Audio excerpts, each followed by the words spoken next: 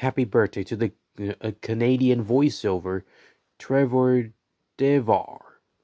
Anyhow, he voices Emperor Palpatine on the Lego Star Wars animated series, and uh, since uh, Lego Star Wars, the Yoda Chronicles, the new Yoda Chronicles, Droid Tales, and the Freemaker Adventures, Lego Star Wars Holiday Special, and Lego Star Wars Terrifying Tales as well. And also Ackbar and other other characters, for example. And and he also voices Elroy Jetson only on the Jetsons and WWE Robo WrestleMania. Well, and and other characters, for example.